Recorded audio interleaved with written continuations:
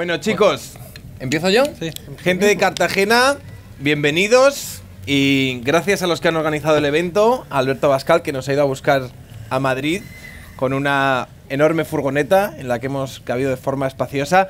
Gracias a todos por venir, eh, gracias a mm, Héroes, Héroes de Cavite por organizar esto y por invitarnos. Eh, youtubers por la hispanidad, ha habido bastante revuelo por las redes sociales. Cuando nos anunciaron salieron nuestras fotos, hicieron, hicieron hincapié en nuestra alopecia incipiente y en nuestro conocimiento sobre la historia de España. Se preguntaron por qué, por ejemplo, por qué estoy yo aquí. Y yo les dije que tampoco lo sabía. Pero em, no me dis a escucharme a mí hablar de hispanidad, eso lo sabemos todos, porque los que me conocéis, eh, yo tengo un canal en YouTube que se llama Un Tío Blanco Hetero. Hablo de muchos temas, la hispanidad no es uno de ellos, pero estoy aquí, por lo menos tengo don de gente si puedo presentar a gente que realmente sí sabe de lo que habla. Y entre ellos están, eh, iban a ser cuatro grandes nombres, ahora se han quedado en tres grandes nombres. Dos y medio. Dos y medio. Dos y medio, sí. Dos y medio por... ¿Quién es el medio, tío? Eso ya va. te lo dejo a ti. En primer lugar, empezando por mi izquierda, tenemos al gran Fernando Díaz Villanueva, que es el, el periodista que hace la, la contracrónica, también es historiador, acaba de sacar un libro ahora que todos os debéis comprar, aunque creo que solo hay tres o cuatro ejemplares. Se llama La Contrahistoria de España y es un libro que realmente merece la pena. Mira, hay gente levantándolo. ¡Yo lo tengo! Bien, sois uno de los pocos afortunados que lo vais a conseguir. Eh, por otro lado, tenemos a Santiago Armesilla, que es politólogo y da clases en una universidad que nos va a decir él ahora mismo. No lo puedo decir. ¿No lo puede decir? Perfecto. Eh, y ha- también ha, ha escrito un libro, varios libros. Uno de ellos, por lo menos, lo tenéis ahí, que es sobre Gustavo Bueno y el marxismo. Tengo que decirte que no me lo he leído, pero lo tengo pendiente cuando me ponga con. ¿Sabes? Y por último tenemos a Javier Donce, que es. Rubio, rubio, donce. Javier Rubio Donce. Joder. Donce, donce, en realidad es donce, es con tilde en la E. Javier Rubio Donce, Javier Rubio Donce, que es el uno de los creadores del, del canal hispano de divulgación histórica con más seguidores de YouTube, Academia Play. Oye, pero un aplauso para todos los demás. No, no, no, lo he hecho así aposta para. muy lucido no, porque esto, tú vas a ser, demás tú vas a también se ser el primero que va a hablar, entonces quiero poner toda la presión muy sobre ti. No, evidentemente, Santiago Armesilla y Fernando Díaz Villanueva también se merecen un aplauso. Bueno, tú me has dicho antes que aparte escribís artículos en Facebook. Me has dicho cada vez que escribimos un artículo se nos, lleva de- se nos llena de comentarios, de comentarios de gente, eh, cuando, sobre todo cuando habláis de la historia de España, preguntándoos, es que vinisteis aquí, nos trajisteis enfermedades, matasteis a nuestra gente, Así ¿no? es, así es, sí, sí, sí. Eh, olíais mal, Olíamos mal, sí. Todas estas cosas. Nos robasteis el oro. nos robasteis el oro. Rencorosos, ¿eh? Sí, sí. Rencorosos. Pues, En así- fin. pues sí, así es, así es. Nosotros, bueno, aparte del canal de YouTube, eh, tenemos una web donde a diario la actualizamos, tenemos muchos colaboradores y, claro, esos artículos los subimos a las redes sociales, los subimos principalmente a, a Twitter y a Facebook. Y en Facebook, en Twitter menos, pero en Facebook sí que suelen, em- empiezan todos a pelearse cada vez que hay un artículo que es, por, por ejemplo, las leyes de la corona de Castilla que protegían al indígena. Pues ahí se empiezan a pelear, o el descubrimiento de América, cualquier tema de la conquista o de la cultura mexica, eh, de la escuela de Salamanca, cualquier tema que toques que esté relacionado incluso con, a, a veces cuando tocas eh, un tema tangencial como son los visigodos o cualquier tema, Ellos también tenían la culpa de... Sí, sí, sí. Todo, todo. Entonces empiezan a llenarse te- de comentarios y unos eh, contestándose a otros. Entonces se forma ahí un debate poco civilizado y donde se sueltan muchos exabruptos y, y la verdad que pocas verdades porque empiezan pues unos eh, con la leyenda negra a tope de nos robasteis nos robasteis el oro, eh, fuisteis unos genocidas, venisteis aquí a matarnos, a traer enfermedades, eh, a esclavizarnos, a violar a nuestras mujeres. Entonces, claro, ya luego salta el típico español y dice, no, pero eso no, no, no, no fueron, nuestros, no fueron nuestros antepasados, serán los tuyos, ¿no? Porque ellos, como sabemos, Hispanoamérica es un pueblo eh, mestizo, eminentemente mestizo. El 90% de la población en muchos lugares eh, es mestiza, es más del 90%. España en también, muchos países. ¿eh? En, bueno, España es un país mestizo, sí, de otras culturas, no es un país donde se haya bueno, sí, obviamente llegaron de América, los, también los mexicas y los incas y un montón los tlaxcaltecas, y, porque se cruzaron con los españoles y muchos vendrían aquí, pero bueno, en España somos un país mestizo de íberos, visigodos, germanos, judíos, árabes, eh, romanos, cartagineses pues hay un poco de todo. Pues sí, somos una cultura mestiza y eso es lo que ha exportado España. Igual que exportó Roma, eh, como decía Gustavo Bueno, España eh, es un imperio que esto hace mucha gracia muchas veces en Twitter, estas categorías, que son categorías dialécticas, esto Marmesilla lo podrá contar mejor, nunca maniqueas, todos los imperios tienen actos de depredación y actos de generación, pero el, yo creo que se, cuando haces historia comparada, el imperio español es muy diferente a otros imperios, como el imperio británico, eh, en su forma de llegar a América y, colonizar. se utiliza el verbo colonizar, pero realmente lo que hicieron los españoles es ahí establecer eh, una. Pues exportaron básicamente lo, que tenían España, crearon nuevas Españas. De hecho, México se llama Nueva España, pero crearon virreinatos. No es un modelo colonial extractivo, colonia, metrópoli, como puede ser el el imperio británico. Es, eh, pues en las Indias lo que se hizo es replicar la cultura, llevar la lengua, mestizarse. Eso es lo que principalmente hizo el imperio español y eso es algo que intentamos nosotros divulgar en nuestros artículos y, y claro, pues esto sienta muy mal y se producen estos debates que, suelen tener pocos argumentos, pocas razones y mucho prejuicio y, resentimiento absurdo. Porque es que realmente están eh, tirándose eh, piedras contra su propio tejado, porque ellos son descendientes de aquellos españoles que fueron a hacer la conquista. ¿Tú crees que esto es algo nuevo o esto es algo que se lleva macerando durante muchos, muchos, muchos años? Esto es algo nuevo. Porque yo sí que noto que, independientemente de que podamos hacer toda una cronología de cómo se ha gestado la, la, leyenda negra, sí que puedo entender que en los últimos años, sobre todo, ha habido ciertos brotes de un indigenismo muy loco. Sí, pues eh, esto principalmente lo... Eh, eh, yo creo que empieza en Hispanoamérica, pues con con el indigenismo, que es pues verse descendientes de ese pasado eh, mexica muchas veces, porque también el... Pero hay distintas etapas en la historia de Hispanoamérica. La primera es eh, de separación de lo español, porque tienen que construir sus propias repúblicas, y eso les lleva a quererse diferenciar, crear naciones-estado nuevas en América, muchas pues nacidas de una manera un tanto casual, como puede ser Uruguay o las repúblicas centroamericanas. Luego, una, cuando les empieza a ir bien a esas repúblicas, a muchas de ellas les fue muy bien a principios del siglo XX y finales del XIX, Argentina es el ejemplo más claro, pero no el único, en ese momento hay un renacimiento hispanista, las celebraciones del cuarto centenario del descubrimiento de América en 1892 es cuando empiezan a hablar del Día de la Raza, eh, aparece Vasconcelos, muchísimos escritores de la época, hispanos, estoy hablando hispanoamericanos, que reclaman el pasado hispánico, incluso se van a gloria de él. Es cuando en el siglo XX la cosa se les vuelve a torcer, cuando empiezan a buscar de nuevo culpables de su desdicha y encuentran dos culpables muy a mano. Uno son los Estados Unidos de América, que especialmente en México es muy acusado y en Centroamérica, y el otro es España, queda muy lejana, pero siempre se puede acusar de la desdicha actual a una conquista remotísima en el tiempo, hace 500 años, que vinieron a hacer, a perpetrar atrocidades. Ponte el micrófono ahí. Ah, que está mal, que no se oye bien. Entonces no siempre ha sido así. Han pasado, han pasado varios siglos, desde que dos siglos exactamente, desde que se independizaron las eh, repúblicas hispanoamericanas, y en esto ha habido fases. Ahora estamos en la indigenista, que es, va muy con el espíritu de los tiempos.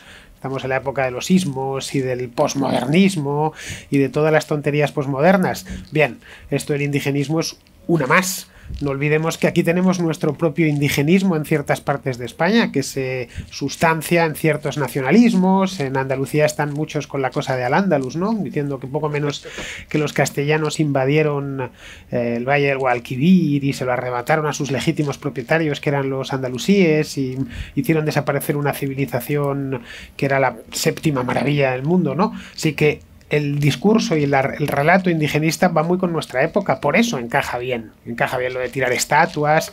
El chivo expiatorio, lo dice Carlos Rodríguez Brown, es el mejor amigo del hombre, no el perro.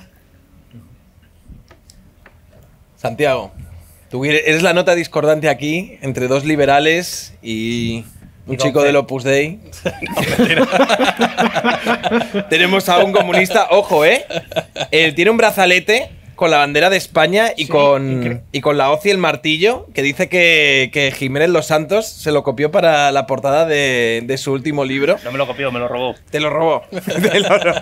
Bueno, No, bueno. Federico no puede. Seguramente con el del Opus coincida más. Oye, huelga a decir que no soy del Opus. No, ¿eh? pues, Por si si lo fueses, pues, pues bien. Bueno, no pasa nada. Pero Eh, a mí me gustaría decir antes que nada que mm, discrepo del título de la charla Youtubers por la Hispanidad. Más que nada porque el término youtuber, aparte de ser un anglicismo, eh, ¿Cómo quieres, Bravo. ¿Cómo quieres llamarlo? ah, eso, eso es lo que voy a explicar ahora. Tu tubo. Eh, youtubers es toda persona que tenga un canal de YouTube, lo tenga monetizado o no, o lo use pues para poner vídeos de su perrito. Yo creo que sería más conveniente decir divulgadores, creadores de contenido o personas dedicadas a determinados temas que utilizan YouTube como una plataforma más. Pero Díaz Villanueva es periodista, se dedica a la divulgación histórica, yo soy politólogo, tengo un doctorado de economía. Javier es ingeniero, arquitecto, Arquitecto. arquitecto y se dedica a la divulgación histórica. Y Sergio, pues es Sergio, un tío blancotero. que está muy bien. Y Bueno, se dedica está a la bien, ¿eh? crítica de ideas. Creadores de contenido por la hispanidad. no, no, mejor Creo que todavía, creadores de- no, no, no. Como politólogo muy bien, pero como Santiago. marketing. No, creo que generadores de contenido. marketing es una no. palabra inglesa. mejor. Oye, No, cuidado la campanita. Pero en todo caso, yo lo que Personas que, quería. se dedican a cualquier tema por la hispanidad. Yo creo que ese es el. Ese es el Personas por la hispanidad. No, personas que se dedican a Seres cualquier Homo tema. sapiens por la hispanidad. Cosas, cosas por la hispanidad. Cosas por la hispanidad. Eso. Bueno, cosas orgánicas. Lo que yo quería decir es que, eh, dicho esto, eso que se llama hispanidad, eh, que sería básicamente la comunidad de naciones y personas que en el mundo hablan español, que son cerca de casi 600 millones de personas, a los que yo por mi parte incluiría, eh, en tanto que vienen de la misma raíz lingüístico-cultural, a los países de lengua portuguesa, porque no hay que olvidar que tanto el condado de Castilla como el condado de Portucale se extendieron del reino de León, que viene el reino de Asturias, y es ahí donde empieza esta civilización, que podríamos llamar iberófona, el término de Durantes Prados, eh, forma un conjunto global de más de 800 millones de personas en los cinco continentes que hablan dos lenguas que son las únicas universales mutuamente comprensibles, lingüísticamente hablando hasta en un 90%. Y si bien es cierto que el ortograma, en términos de Gustavo Bueno, del Imperio Portugués fue más depredador que generador, aunque el nuestro con los Borbones fue poco a poco adquiriendo un carácter más colonial, nunca al nivel de neerlandeses ni británicos, eso también es cierto, pero difería mucho desde los Austrias. Lo que sí es verdad, y yo esto es una tesis que manejo cada vez eh, con mayor eh, ímpetu por mi parte, es que eso que se llama hispanidad son los restos del naufragio de una civilización que representó en un momento dado, entre finales del siglo XV y finales del siglo XVIII, principios del XIX, un proyecto de modernidad alternativo al que triunfó. Ese proyecto de modernidad alternativo fue derrotado por otra modernidad anglosajona, protestante, capitalista e industrial que logró imponer como relato, como ideología, porque la leyenda negra es eso, una ideología en las clases hegemónicas de esas naciones que derivaron de la derrota, del naufragio de esa civilización, ese discurso para, entre otras cosas, justificar esa construcción de esos estados. Que no es exactamente cierto que algunos fueran prósperos, porque en la Argentina de principios del siglo XX, el área de Buenos Aires era muy rica, mientras que en el interior de las provincias vivía gente tremendamente pobre. Los que luego fueron, entre otras cosas, los descamisados que se unieron a las filas del peronismo. En todo caso, esa modernidad derrotada, eh, y esto les va a gustar tanto a los que estén aquí que sean marxistas como a los que estén aquí que sean hispanistas y lectores del Quijote. Fue Marx en el Capital, en una nota pie de página, quien mejor explicó con una sola frase por qué cayó el imperio español. Y Gustavo Bueno dijo que Don Quijote era el espejo de la nación española. algo que el propio Cervantes expresa en los tomos del Quijote. La frase con la que Marx describe esa caída es la siguiente, la repito muchas veces, hay alguien que la ha escuchado más de una vez. Ya Don Quijote pagó caro el error de creer que la caballería andante era compatible con toda forma económica de sociedad. Y si nosotros caímos, si nuestra civilización cayó, era porque la caballería andante, esa institución que trataba de desfacer en tuertos, no entendió que era incompatible con la forma descarnada de explotación y de desarrollo industrial que los ingleses empezaron a imponer en su propia isla, liberalizando la fuerza de trabajo infantil y de la mujer, y exportándola a sus colonias, porque si eran colonias, porque tenían gobierno indirecto y el centro urbano se centraba en la costa, mientras que nosotros hicimos otra cosa, pero que fue derrotada. Y lo que yo cada vez defiendo con más ahínco es que si esa modernidad alternativa que fue derrotada se puede reconstruir, tiene que hacerlo contra aquella modernidad que triunfó. Y por tanto, por eso, la derrota política, ideológica e historiográfica de la leyenda negra es, a mi juicio, una misión inextricable de todos los hispanos de ambos hemisferios. Y yo con esto termino mi primera intervención. Bueno, yo creo, Santiago. Venga, ahora tiene que hablar un anglófilo como No, vamos a ver, Fernando. Él es el anglófilo, pero bueno, bueno. hasta aquí por... Voy a cargar antes el móvil. Sabéis que está la luz tan cara que me he tenido que agenciar una pequeña central fotovoltaica para, para cargar el teléfono móvil. Bueno, vamos a ver. Eso de decir que la hispanidad ha fracasado, yo creo que es mucho decir. La hispanidad no ha fracasado. Tiene 450 millones tirando por lo bajo de hispanohablantes nativos. Una comunidad de estados-nación bien, que están en un nivel de renta. En el caso de España es una renta alta, pero en América encuentras un poco de todo y en ningún caso están entre los países más pobres del mundo, ni tampoco entre los más infelices, ni entre los más eh, desdichados desde el punto de vista político. ¿Me permites un matiz? Dime, claro. No he dicho, derrot no he dicho fracasada, he dicho derrotada. Es decir, Bien, no, evidentemente una, un conjunto civilizatorio Pero que, es que no que creo- Espera, espera, es que quiero- es más, el matiz es importante, porque no puedes poner en mi boca algo que no he dicho. Es derrotada por un imperio, el británico, que no tiene competidor en ningún caso en todo lo que es el grueso de los tres primeros cuartos del siglo XIX. Ni una sola potencia europea, ni siquiera Estados Unidos, puede competir a escala económica, industrial, ni de desarrollo tecnológico y científico con el imperio británico. Muy tardíamente, Estados Unidos y la Alemania unificada por Bismarck puede compararse con los británicos. Pero los británicos, en sus dominios que van organizando, que tienen su tope de extensión después de la Primera Guerra Mundial, pero al mismo tiempo que logran intervenir en otros territorios que no controlan, pero que los cuales manejan indirectamente, como es Hispanoamérica, a través de- del comercio, de la ideología del libre comercio, o como es en China, que la convierten de facto en una colonia suya, a través de las guerras del opio, o su intervención en la, en la rebelión de Taiping, o su intervención en la rebelión de los Boxers, es un, es un imperio que en esa construcción, en esa derrota nuestra, que no fracaso, en eso mm, a lo mejor estamos de acuerdo, lo que hacen es básicamente subordinarnos, subordinarnos culturalmente en los términos de Marcelo Gullo, que por cierto ha venido aquí y luego tendrá una presentación de España, la primera globalización, que espero que puedan estar ustedes presentes. Esa subordinación cultural no implica nuestra derrota, nuestro fracaso, implica nuestra derrota. Seríamos un fracaso si hubiéramos desaparecido como civilización, como ocurrió con el antiguo Egipto. Bueno, es La que- cuestión es que estamos, estamos vivos, pero estamos en amenaza constante. Joder, amenaza. Estamos en amenaza. Sí, sí, sí, En sí, sí. sí.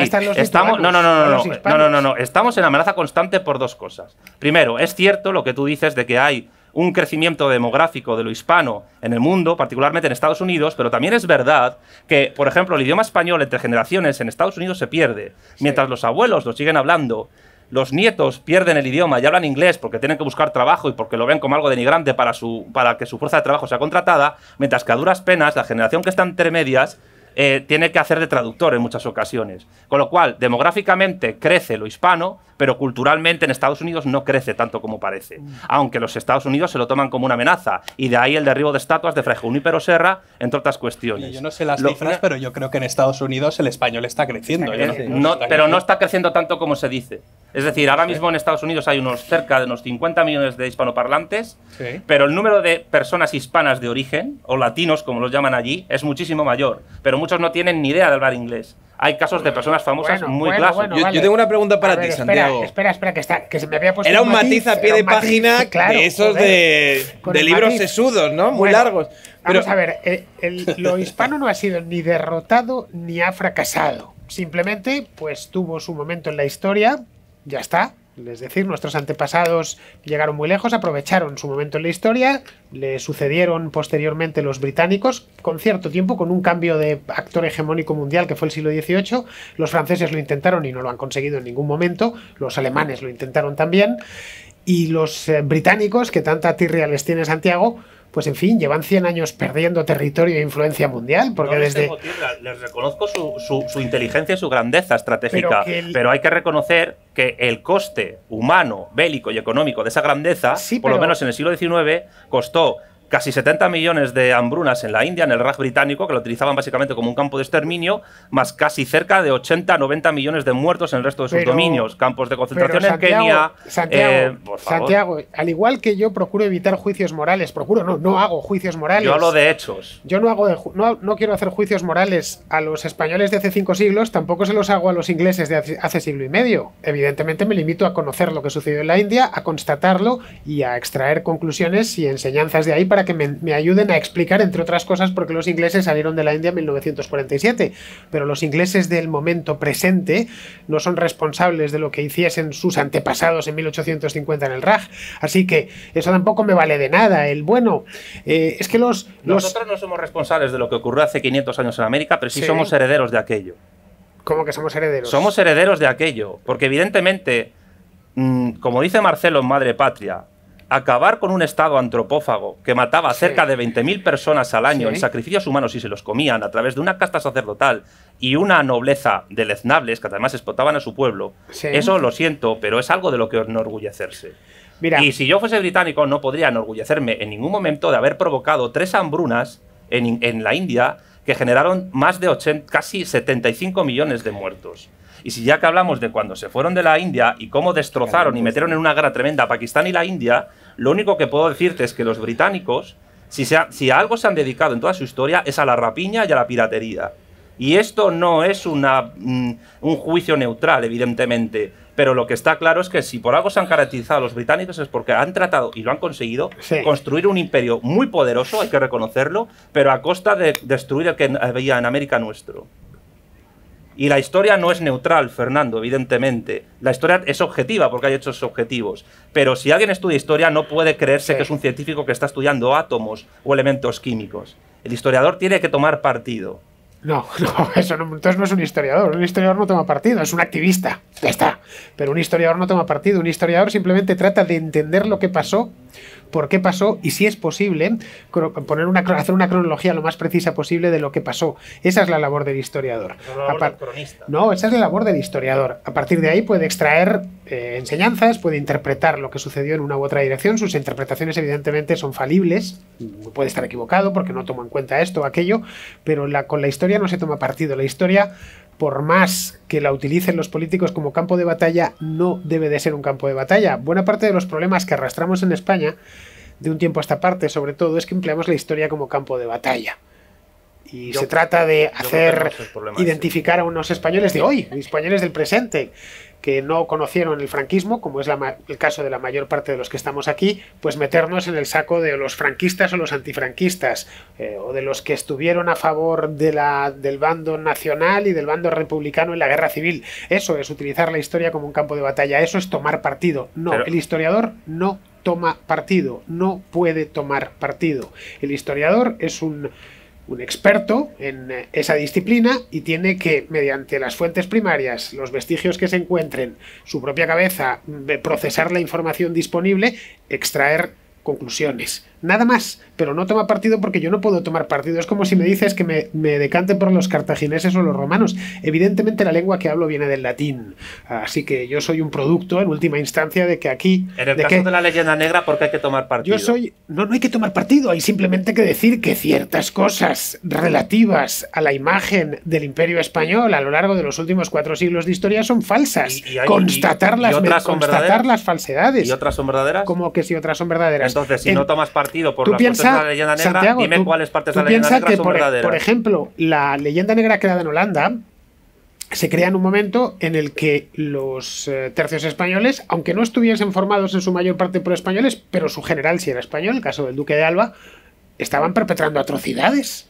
Así que es normal que allí hubiese cierta leyenda negra hacia los, como aquí hay leyenda negra hacia los franceses, cuando cometieron las atrocidades que cometieron durante la guerra de la independencia. Es decir, esa es una parte que se puede llegar a entender. En una Ahora, guerra siempre se producen atrocidades por ambos bandos. La cuestión es que lo que ocurrió en los Países Bajos no fue simplemente una guerra de liberación de unas provincias oprimidas por eh, los malvados reyes de, de los Austrias. claro, pero eso- Fue una guerra civil entre Sí, neerlandeses partidarios cierto. de la corona y Sí, neerlandeses eso es lo que hay partidarios que, eso es lo que, hay que explicar y lo que hay que Claro, divulgar, pero lo- sin tomar partido. sin Yo tomar creo que en el partido. momento en el que el, el tome- historiador toma partido, se convierte en, bueno, en otra cosa. problema- Deja de ser un problema- historiador problema- y yo creo que hay que problema- informar, pero sin, sin, sin extraer enseñanzas morales y sin No, no, demasiado no, no. apasionamiento, Yo no estoy porque si hablando- no. Yo no estoy hablando de enseñanzas morales. Yo lo que digo, y es el gran error que tiene mucha gente que es historiadora o divulgadora de la historia, es pensar que la historia es una ciencia.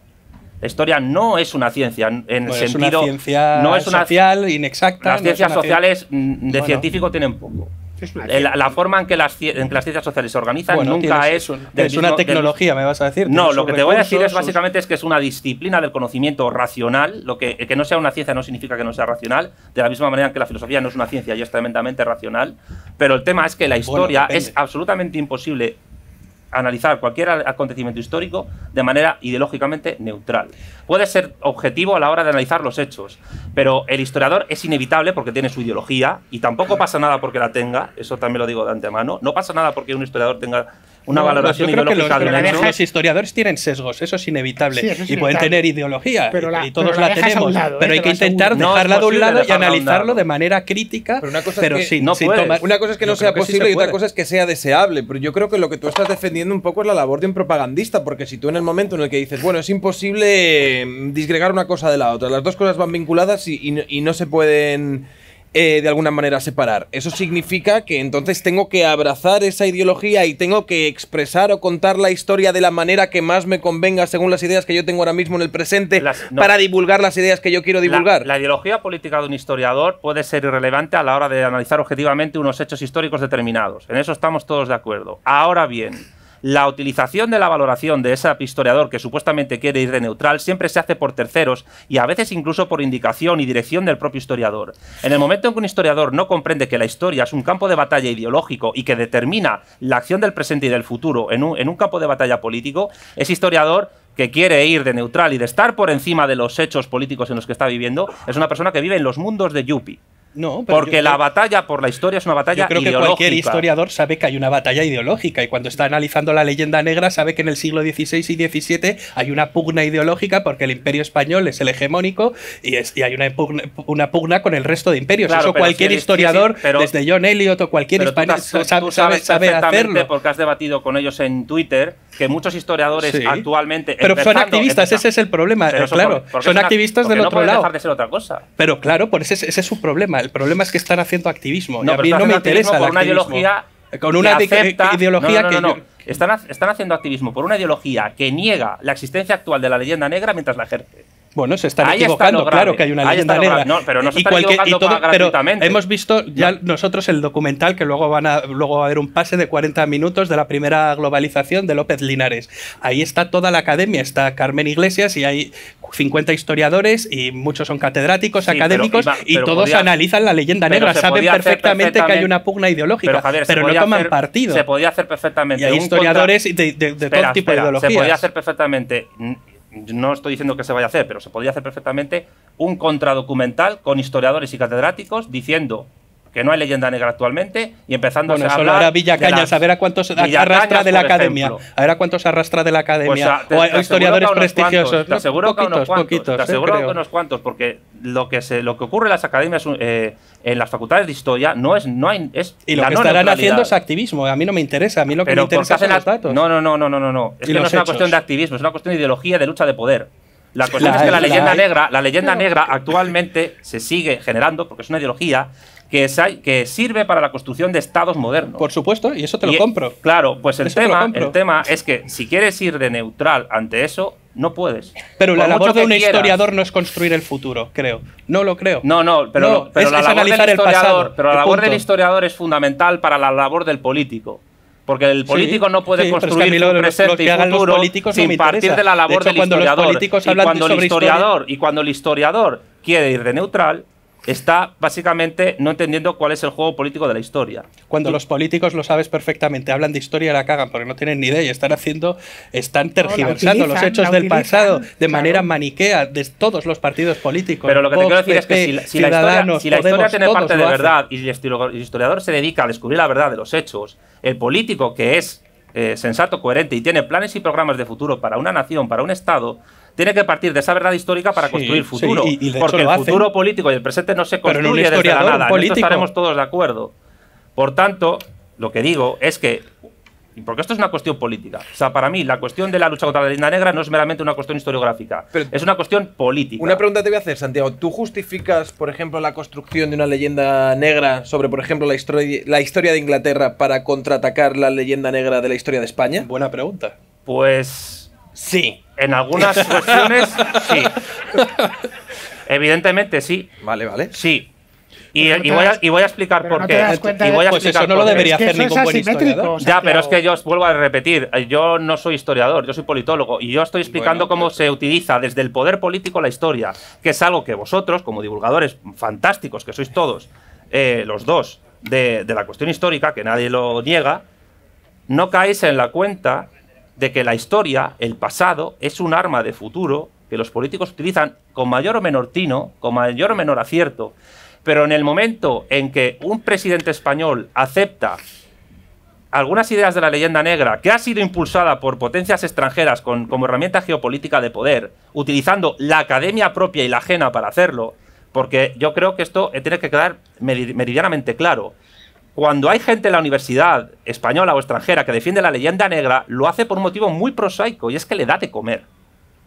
Porque gracias a las publicaciones científicas historiográficas de esa leyenda negra, son publicados sus artículos en revistas de alto índice de impacto académico en Estados Unidos y eso les da la acreditación de- en la NECA para que puedan trabajar en la universidad. Y hay todo un y lo que nosotros con la leyenda negra. Claro, evidentemente. Pues en ese caso, si nosotros sabemos además, porque hay datos fidedignos que, eh, de ello, no traducidos al español, pero en la India, por ejemplo, los manejan, en Nigeria, en Kenia o en Canadá o en Australia, por ejemplo, el genocidio que hicieron en Tasmania, lo que yo digo, y es aquí donde difiero yo de vosotros, porque vosotros estáis en el plano historiográfico, y yo estoy hablando de poder, de política, la política es poder, y es conflicto. Lo que digo es que un político también puede utilizar la mentira o puede utilizar la verdad para construir planes y programas no solo para beneficiar a su país, sino también para atacar a un enemigo histórico Sí, que lo que pretende es que tu país esté subordinado Yo políticamente. desearía, yo desearía que los políticos no se acercasen demasiado a la historia. Y eso es no lo- va a ocurrir eso es- nunca. no, eh, sí, pero no eso, va a es lo, ocurrir eso es lo deseable. Eso es lo Ay, deseable. ay, muy bien. Obviamente. Y los historiadores que se dediquen a hacer historia y los divulgadores a intentar de ser lo más aséptico posible para no, eh, no posicionarse ni en un bando ni en otro. Estar- yo no no estoy es- diciendo no- eso, yo te estoy diciendo el uso que Sí, se hace de la, y- y de te la historia y como herramienta claro, política. y a mí no me gusta ese no- uso. Pero te gusta o Porque es por eso ocurre. existe el indigenismo, entre otras cosas. Pero vamos a Por dejar- eso existe yo creo el que aquí lo que nos encontramos es en el choque lógico entre un politólogo y gente que se divulga la- a la yo divulgación soy histórica. arquitecto. Bueno, ya, pero por eso. pero politólogo es él. Sí, sí, sí, eres, sí. eres historiador al fin y Pero al antes de que me definas. Una cosa, es tu, una cosa es tu formación académica y otra cosa es a lo que te dediques. De hecho, Sí. hay muy buenos historiadores que no han estudiado historia. Bueno, yo soy de formación eh, eh, académica histórica, pero luego me dedico al periodismo toda la vida. A veces me lo preguntan, de hecho, ¿cómo puede ser que seas periodista después de haber estudiado historia? Porque el método es el mismo.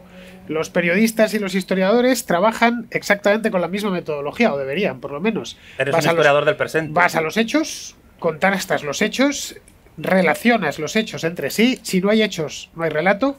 Pero tienes que inventar y eso no es propio ni de un periodista ni de un, ni de un- ni de un historiador, es propio de un manipulador, de un politicastro, en fin, pero no de un historiador ni de un periodista um, honrado.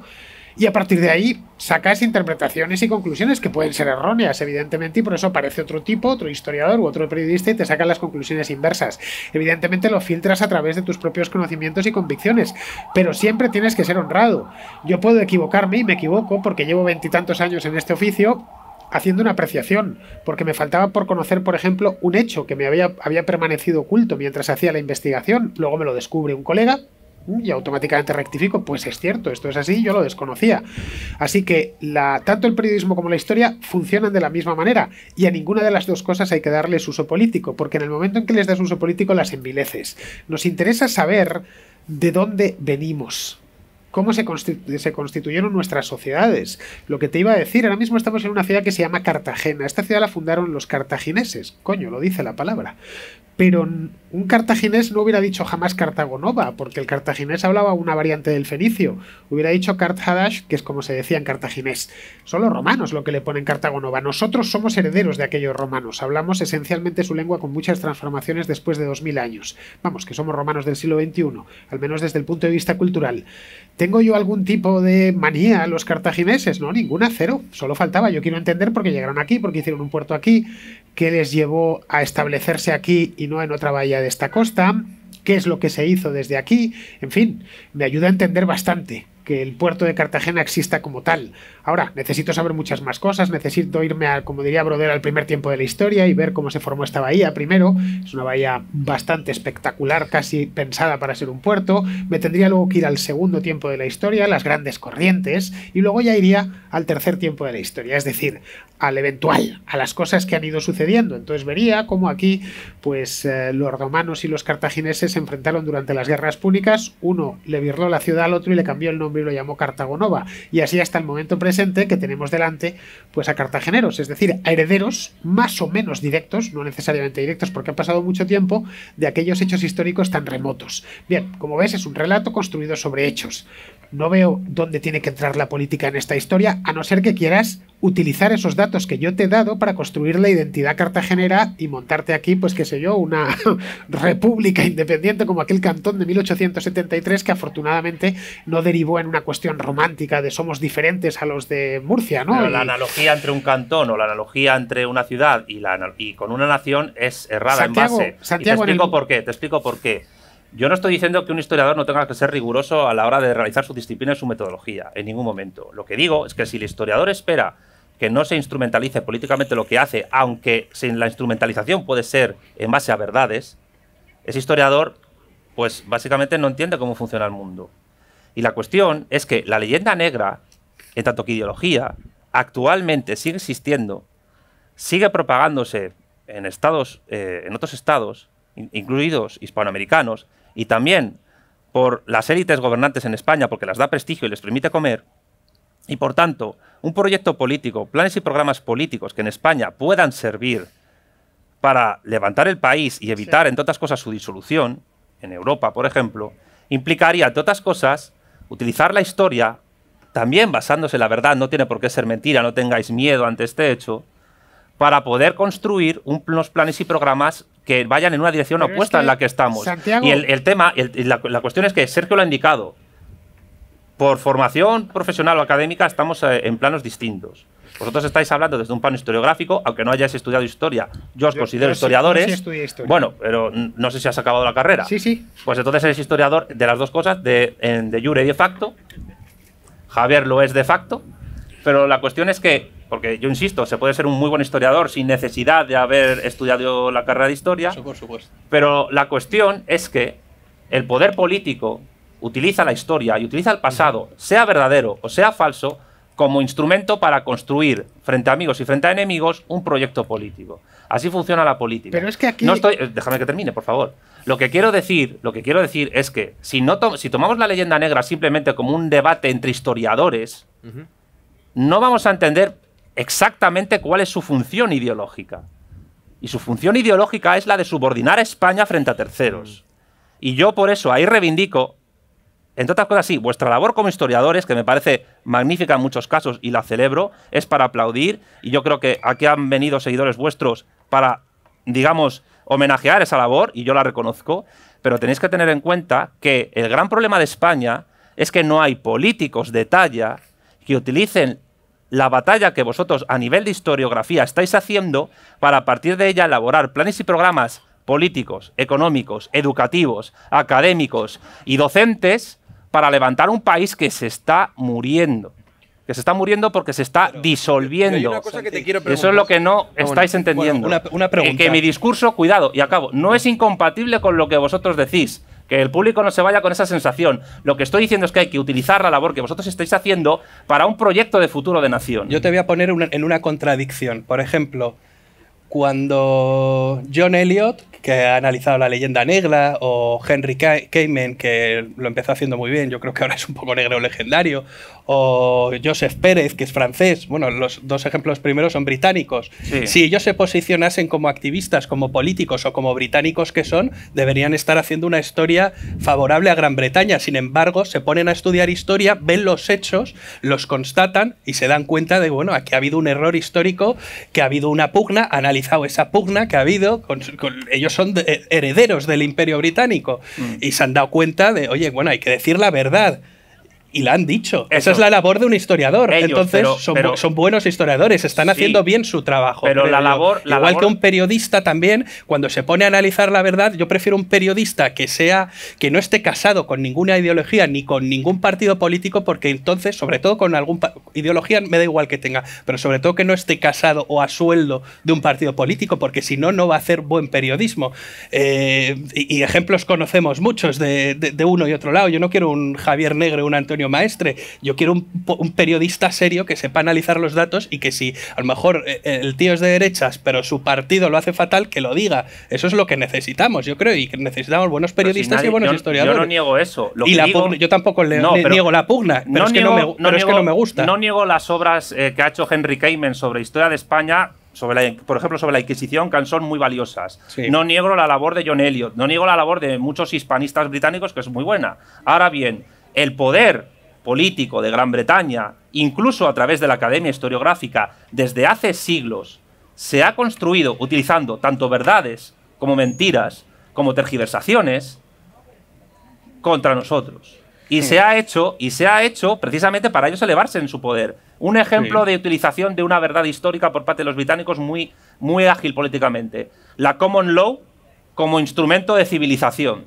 Cuidado, que la common law no se aplicaba en todas las colonias británicas, pero actualmente incluso desde la Prager University, que es un canal de YouTube conservador estadounidense, se defiende la common law como una herencia civilizatoria anglosajona.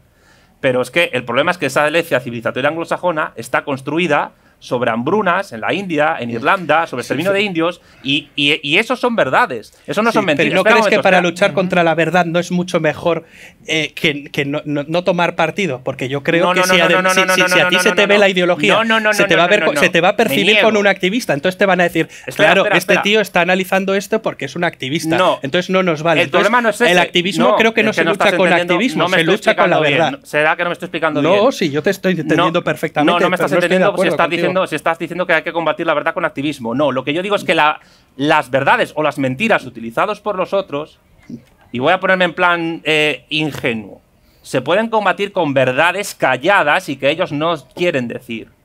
Verdades contrastadas por historiadores, muchos anglosajones Pues la labor de y muchos en la sacar India. verdad Sí, pero es que la labor del encima de la político, la labor del político español es utilizar esa historia para decir, cuidado que los británicos nos han hecho esto. Bueno, es- y ellos haciendo nos buena ha- política. han por Bueno, favor, sí. el otro día eh, estuviste comentando en tu, en tu Sí. perfil de Twitter un vídeo de casi dos millones de visitas sobre la Inquisición española, Sí. hecho por un, un canal anglosajón, eh, donde básicamente hablaban de herramientas de tortura que nunca utilizó la Inquisición Sí, en España. La cuna de Judas, la dama Claro. de hierro, sí. Pues digo yo, señores historiadores, señores políticos españoles, ¿por qué no hacen vídeos sobre cómo utilizaban los británicos eh, el RAG británico a nivel administrativo y cómo provocaban hambrunas? ¿Por qué no hacemos vídeos sobre las hambrunas, las dos hambrunas en Irlanda que provocaron 3 millones de muertos? ¿Por qué no hablamos del exterminio de los pueblos originarios de Tasmania por parte de los ingleses? ¿Por qué no hablamos de cómo estoy- Australia se convirtió en la cárcel más grande del mundo? ¿Por qué no hablamos de los indios que murieron en Canadá matados por los anglosajones? El tema es por qué no hay cojones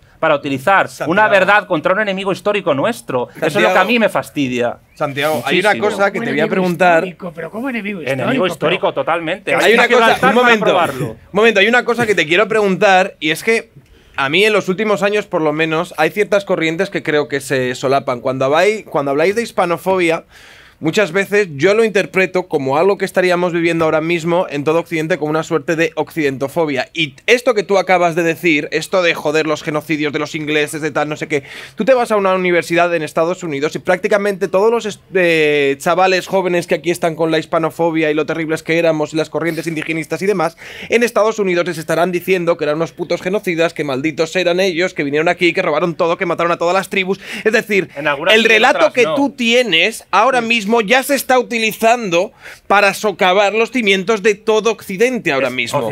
donde nosotros también. Occidente como civilización no existe. Eso fue un invento moderno de ingleses y franceses para justificar su dominio colonial. Eso donde no, somos incluidos, por lo tanto. Nosotros, para empezar, no, entramos en el canon occidental clásico que han construido ellos. Tú eres oriental, tienes los ojos. No, no, no, no, no. Es que. No, no, no, vamos a ver. Los que manejan la idea de Occidente a nivel civilizatorio, ¿quiénes son? Estados Unidos, el mundo anglosajón, eh, Francia, Alemania, el Benelux, lo que es Europa Occidental, pero nosotros estamos fuera. No, no los entienden como ese canon.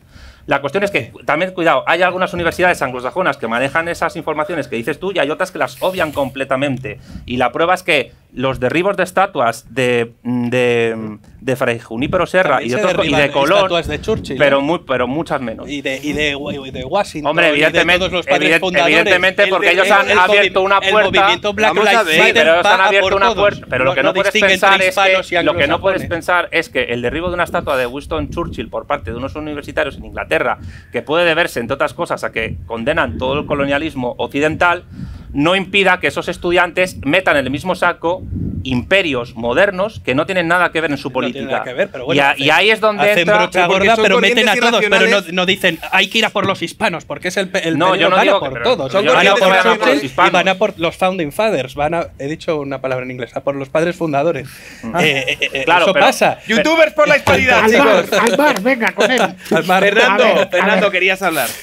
A ver, Santiago, a ver, Santiago, que estás aquí pegándonos un patrioteo que, vamos, que de padre muy señor mío, un, un patrioteo aquí de los malos Yo simplemente estoy señalando una cuestión de la que vosotros paséis olímpicamente, que es el uso político de la historia. No, porque es que la política nos la trae flojísima, vivir en, no soy historiador, soy un, soy un, no somos políticos, un ser de luz, etcétera. Somos gente de bien, no nos dedicamos a la política ni lo haremos. Yo escribo sobre Hernán Cortés y me da igual el uso que se haga. Bueno. Lo que, lo que haga, viva, lo que haga, lo que haga Pedro Sánchez con Fernando, con, con, Hernán Cortés, a mí me da igual, porque soy un historiador que escribo libros, hago la contrahistoria y es un tío guay.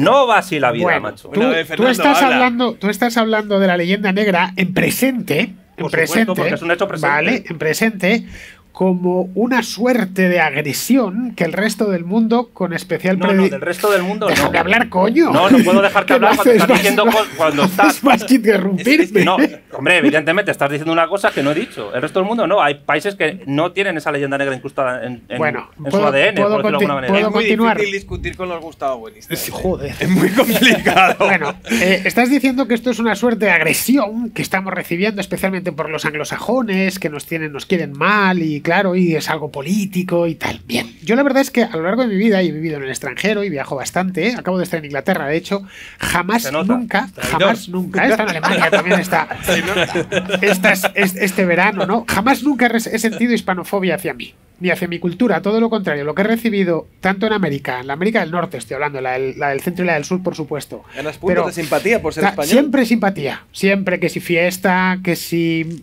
una sonrisa, bastaba que decías soy español, y si vas a Tailandia más todavía porque creen, ya te dicen español Maradona, no, bueno, no exactamente, pero asocian lo hispano, el hecho hispano con algo alegre, simpático y poco problemático. Los que no son hispano y cuanto más se alejan, más eh, simpáticos te ven. Yo nunca, yo no he visto hispanofobia, jamás la he padecido. Nunca, cero. Nada más. Yo tampoco, ¿eh? he vivido en Estados que Unidos. En el, que en el pasado hubo hispanofobia, indiscutiblemente. Caray, pues la monarquía española fue realmente poderosa y le surgieron un montón de enemigos sobre todo en los siglos XVII y en menor medida el XVIII. Y a partir del siglo XIX, cuando el imperio colapsa, pues bueno, se evapora porque ya la monarquía española, eh, España como realidad política deja de ser una amenaza y por lo tanto eso se, además España se mete y, sus eh, antiguos virreinatos en guerras civiles y en mil problemas políticos y dejan de ser importantes para el resto del mundo. Es decir, la España de Alfonso XIII no es una amenaza para el Reino Unido. ¿Para qué va a haber una hispanofobia? Que van a. de un ya un país, digamos, que ha quedado disminuido a la. que ha bajado a la segunda división.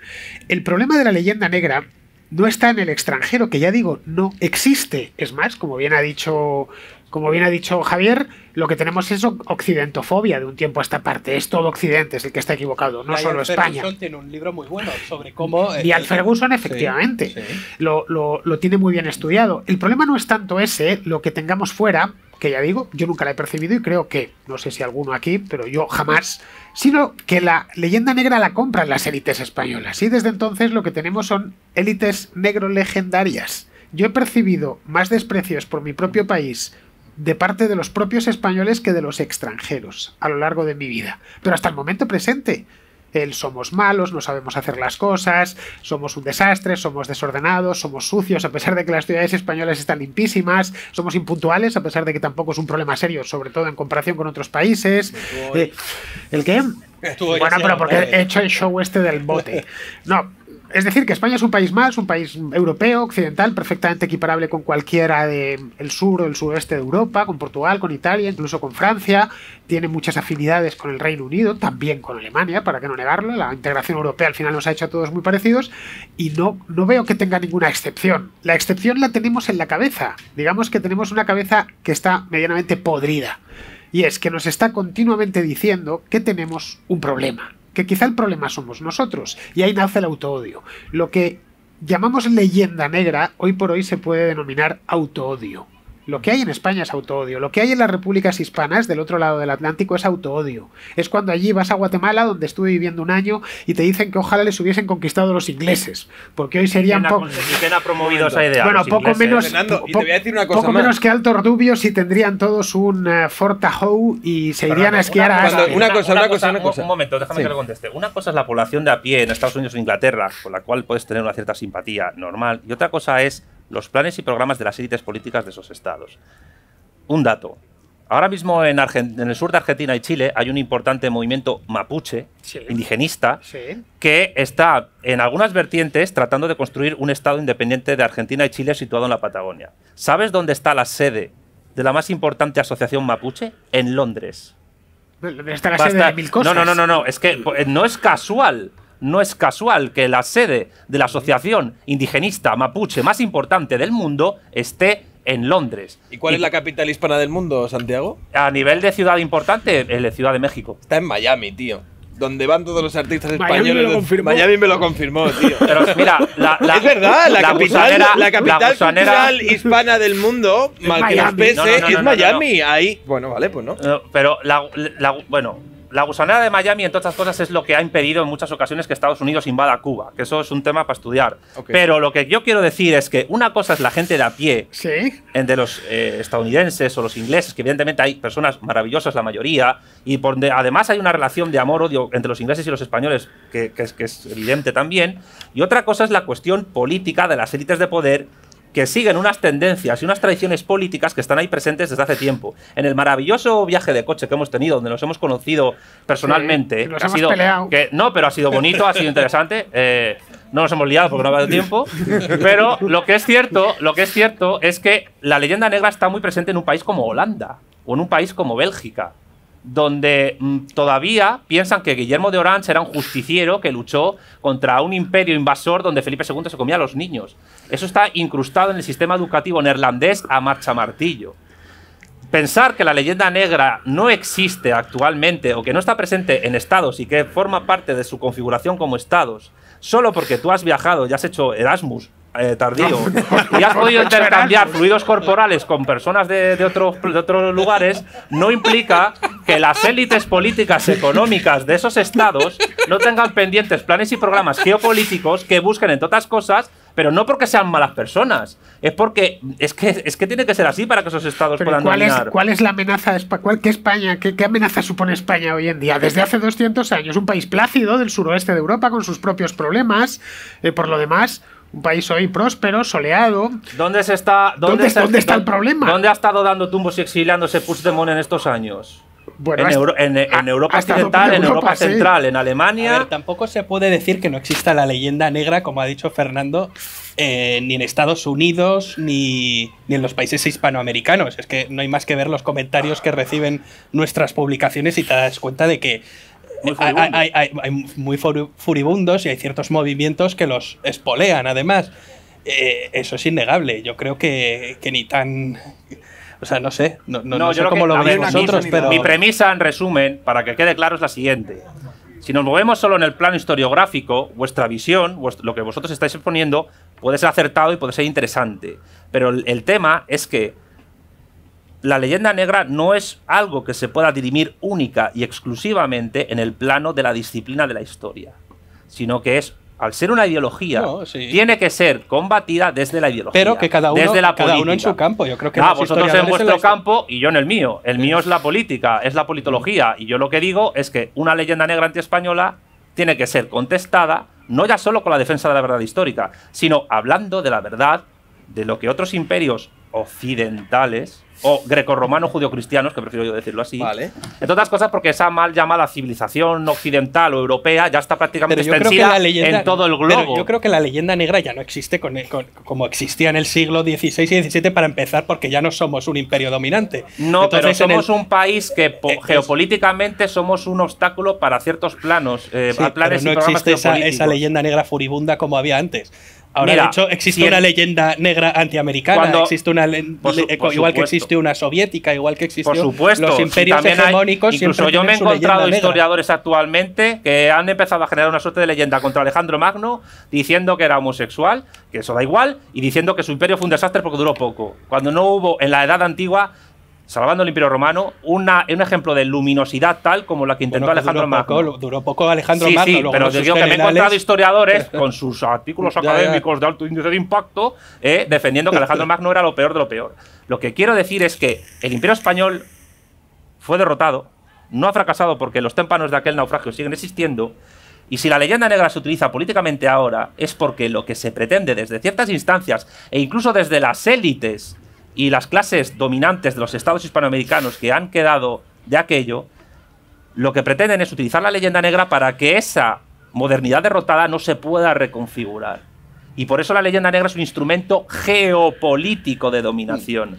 Y evidentemente yo lo que defiendo es que vuestras magníficas investigaciones, tanto la tuya como la tuya, a nivel de atacar a la leyenda negra, independientemente de vuestra voluntad, se utilicen políticamente para un proyecto Pero político mi de país. eh, eh, lo- los ataques los hacemos con datos. Simplemente decir. Y yo lo mentira, celebro, esto pero si a mí me mentira, parece mentira. maravilloso, si yo me estoy encantada de, de- Pero de no- teneros en bueno. relaciones sociales. Yo te voy a decir una cosa, Santiago. Hace unos años en España se hablaba sobre em, el, el resentimiento, las rencillas que teníamos hacia nuestros propios símbolos y hacia nuestra propia identidad nacional. Sí. Y mirábamos siempre desde algunas coordenadas con envidia cómo desde otros países, ¿no? Desde todas las coordenadas políticas, más o menos se respetaba por lo menos ciertos eh, elementos de identidad nacional que eran comunes para todos. En Estados Santiago Unidos, respeta. gente de lleva izquierda, gente de derecha.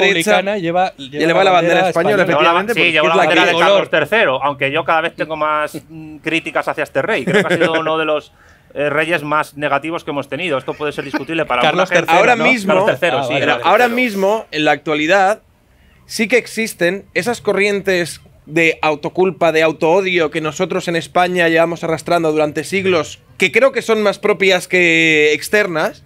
Ahora mismo en esos países esto se em- está empezando a cultivar. Y esto se está empezando también a permear dentro de las élites de estos países. Ah, Coño, no. simplemente que no. Si ahora, por ejemplo, nos vamos a Estados Unidos y ves eh, uno de los grandes representantes de la, de la gran izquierda ahora que viene en Estados Unidos, la Ocasio Cortés, esta, es una señora que abraza todo tipo de ideologías y todo tipo de corrientes que entienden Estados Unidos como un órgano de opresión y un supremacismo blanco y una cosa totalmente despreciable con lo que no estaría mal del todo acabar y desde luego nunca celebrar.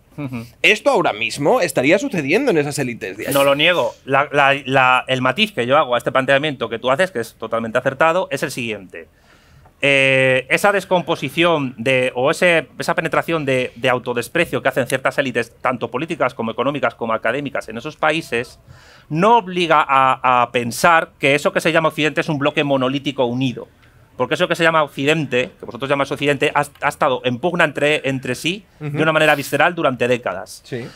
La gran característica que ocurre en la actualidad es que, ese, es que ese mundo geopolítico que Estados Unidos construyó en su Pax Americana a través de la OTAN o a través de la Unión Europea que se construyó antes Comunidad Económica Europea para frenar el avance de la URSS hacia Europa Occidental, empieza a resquebrajarse porque está resurgiendo un poder político, económico y cultural tremendo que se llama República Popular China, ante el cual el resto del bloque que está ahora mismo en descomposición no tiene herramientas para poder combatir. Ah, lo- y lo hace, ahí está el AUKUS. ¿Y el AUKUS qué es? No es una unión de Occidente, es una unión de anglosajones, que siempre han estado unidos en cualquier conflicto bélico. Es- Y, y China no olvida, no olvida lo que les hicieron en el siglo de la humillación, corregidme si el término no es adecuado, pero los chinos consideran que el mundo anglosajón les humilló en el siglo XIX, convirtiendo en una colonia de facto de Inglaterra, de Francia y de incluso del Imperio Austrohúngaro a lo que fue un imperio milenario, que se lo repartieron entre otras cosas. Y de ahí vienen las dos guerras del opio, que convirtieron a China en un narcoestado, ahí viene la rebelión de Taiping, donde intervinieron los ingleses, o ahí viene la guerra de los boxers. Y lo que están... Sí, sí, lo sé. Y, y la cuestión es que tanto los chinos como los anglosajones, teniendo a Estados Unidos como su principal potencia ejecutora, siguen estando en disputa y utilizan también la historia eh, para, como herramienta política. E insisto, para que no se mal- malinterprete por enésima vez, no niego lo que vosotros decís y no niego la labor del historiador en ese sentido. Por supuesto que es necesario que el historiador sea fidedigno a las reliquias y relatos, a las fuentes, y que trate de relatar los hechos de la manera más fidedigna posible siendo objetivo. Por supuesto que sí. Pero si el historiador piensa piensa que lo que él está haciendo es una, una labor neutral más allá de su ingenuidad académica, está completamente desnortado. Y evidentemente está pasando eso que tú que dices en Estados Unidos, en Inglaterra, en Alemania no tanto, fíjate. Curioso, porque han provocado guerras Hace mundiales. unos años veíamos Pues- la foto de Angela Merkel, no sé qué, estaba celebrando, pero había una persona con una bandera alemana y se acercó Merkel a decirle, no, no, no, no tengas aquí la bandera pero, alemana, no pero la ¿sabes por qué? de-". ¿Sabes por qué? Porque la verdadera bandera alemana es la de la Unión Europea. Porque la Unión Europea es el cuarto Reich que se está construyendo de manera pacífica a través del libre comercio. Y la ¿Tú preferirías que hubiese eh, turistas eh, argentinos en Benidorm antes que alemanes? Entiendo. Yo es que considero que el turismo es uno de los putos capitalistas más refinados que hay, pero De eso es acuerdo. otra cuestión. Yo lo que digo es que la Unión Europea no es mer- una mera asociación, no es una asociación entre iguales. Nunca lo ha sido, jamás. En un momento dado, cuando Alemania estaba partida en dos, la Comunidad Económica Europea fue un instrumento de Francia para tratar de convertirse en el hegemón de Europa Occidental. Porque dijo, Inglaterra está mal, eh, Alemania está partida, ahora entro yo, ahora entro yo. ¿Y qué han hecho los franceses siempre? Tienen una diplomacia fantástica, pero han tratado de construir imperios y siempre lo han hecho mal, han fracasado. Todo les ha durado cero. En el momento en que se cayó el bloque soviético y Alemania se reunificó y reconoció a Eslovenia y Croacia como estados independientes en la balcanización de Yugoslavia, Alemania una vez más se convirtió en el hegemón de Europa y está construyendo de manera pacífica lo que siempre ha pretendido hacer su gran burguesía, que es convertirse en el hegemón telúrico del continente. Y, y- y cla- y es que fíjate hasta, qué- hasta qué punto llega el desconsuelo de los franceses, que hace dos años toda la red pública de ferrocarriles franceses fue comprado por la empresa Siemens. Entonces, ¿qué ocurre? Que en la, en- en la historiografía, en la economía y en un montón de disciplinas siempre hay juegos de poder. Y al final la geopolítica es lo que manda siempre. Por tan- y además, ¿qué ocurre? Que Alemania es de los pocos países que, a pesar de todo, se libra de, persecución peyorativa de- desde fuera o desde dentro de su historiografía después de haber hecho lo que hicieron en el siglo XX. ¿Por qué? Pues porque se lo montan mejor y tienen mucho poder. Al final, todos son relaciones de poder. No estoy diciendo que eso sea bueno o malo o que yo lo prefiera. Lo único que estoy haciendo es decirles a todos ustedes que el poder, la geopolítica, la política exterior, las relaciones internacionales, al final es lo que determina, incluso de manera indirecta, lo que en una academia se estudia y lo que uno entiende por la historia de su país y del resto del mundo. Y yo no estoy defendiendo yo no estoy defendiendo solo que se digan mentiras para contrastar eso. Lo que estoy diciendo es que se puede utilizar la gran labor de Fernando Díaz Villanueva como historiador o de Academia Play como colectivo contra eso perfectamente. Bueno, señores y señores, YouTube es por la hispanidad. Bravo. Vamos por- Es que se supone que teníamos como una fase de preguntas que yo no Sí, sé si es Jodido. tiempo, yo creo. Yo creo que Santiago Hermesilla está tranquilo, va a reconstruir el lo de- imperio. lo del hegemón telúrico. No, yo no quiero reconstruir el imperio. Lo que pasa es que No, no, no, en esta no. mesa, el único youtuber por la hispanidad soy yo. Ese es el problema. Bueno, podéis preguntar lo que queráis, pero si alguien pregunta a Santiago que nos explique lo que es un hegemón telúrico, yo se lo agradeceré bastante. ¿eh? Un hegemón telúrico nos va. eh, A ver, hay dos tipos de imperios en base a lo que dominan: talasocracias y telurocracias. Ah, ¿Qué son las vale. talasocracias? Las que se basan en el dominio de los mares. Sí. Por ejemplo, el imperio británico o el español. Las telurocracias, como el imperio mongol, son las que se basan en lo telúrico, en el dominio sobre todo de una gran masa de tierra. Es, la diferencia es. vamos, está Ah, vale, tratado vale, geopolítica vale, de hace años. No me estoy inventando nada. Bueno, pues que empiecen a preguntar, a ver. Ahí hay, bueno, hay varias preguntas. A ver. ¿Quién tiene el micrófono? No me dejan hablar sin mascarilla. Esto... En serio. Me va a prestar uno aquí gentilmente. Te dejo yo la mía, aunque sea para... Compartimos gérmenes, da igual. Bueno, no hace falta que te oímos. Va a ser complicado, pero bueno, a ver, da igual. lo voy a hacer con, con mascarilla. Ay, yo tenía una aquí. Bueno, a ver, yo quería, yo quería preguntaros porque tengo que declararme, yo soy muy fan de Fernando y de Javier, también de, también de Sergio, ¿no? Sigo sus canales y tal, pero tengo que reconocer desde que ha entrado Santiago en el, en el juego este, ¿no?